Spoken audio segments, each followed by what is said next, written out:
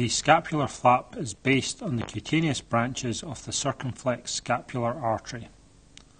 The circumflex scapular artery emerges from the triangular space bounded by the teres major superiorly, the teres minor inferiorly, and the long head of triceps laterally. There is a large transverse branch as well as a large descending branch running along the lateral border of the scapula. This allows flaps to be raised either as scapular or parascapular flaps. A small ascending branch is also found.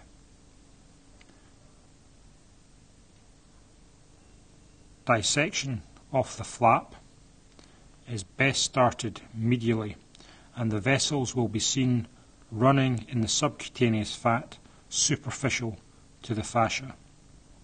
As the triangular space is approached, the dissection proceeds at a deeper level to follow the vessels down between the muscles.